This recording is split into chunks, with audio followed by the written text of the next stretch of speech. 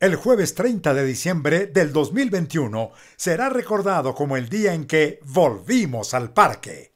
Miles de personas de todo el país y visitantes de otras naciones colmaron la plazoleta de eventos del Parque Simón Bolívar.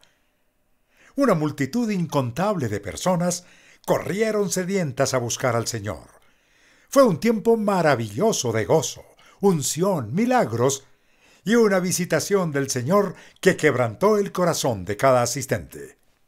Todo inició con un poderoso tiempo de adoración. Luego presenciamos una alabanza portentosa que exaltaba el nombre de Jesús y su obra en nuestras vidas.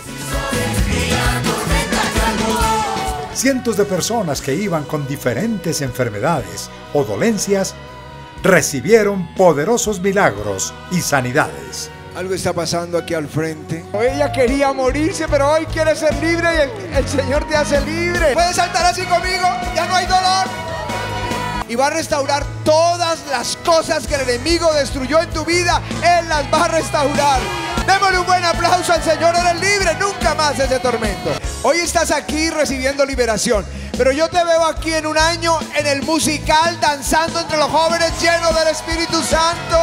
Démosle gloria al Señor. Pero el milagro más maravilloso que presenciamos fue ver a miles de personas reconciliándose con Jesús e invitándolo a entrar en sus corazones.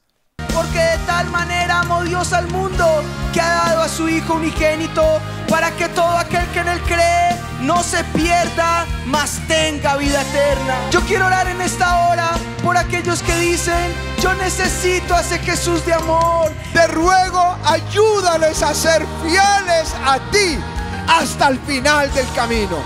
En el nombre de Jesús. Amén. Y amén. Vamos a darle un aplauso al Señor tremendos milagros. Sentimos su presencia porque sabemos que Él está aquí. Amén. Si nosotros sembramos en esperanza contra esperanza, yo sé que va a venir una enorme liberación. Yo sé que podrás heredar promesas que otros no van a heredar. Pero la noche no podría terminar sin antes escuchar una poderosa palabra en voz de nuestro pastor. Tengo una palabra que Dios me dio. Tengo una palabra y Él la va a cumplir. Levántate, iglesia mía. El invierno está por pasar. La lluvia se va a detener. Viene una primavera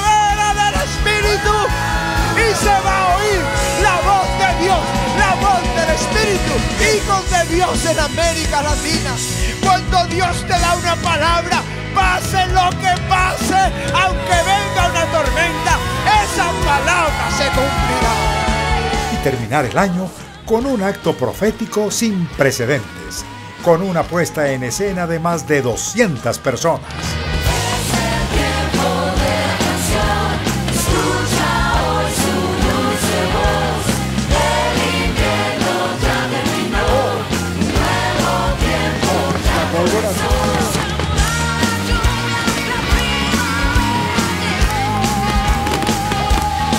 Escuchamos una tremenda palabra profética para el año 2022.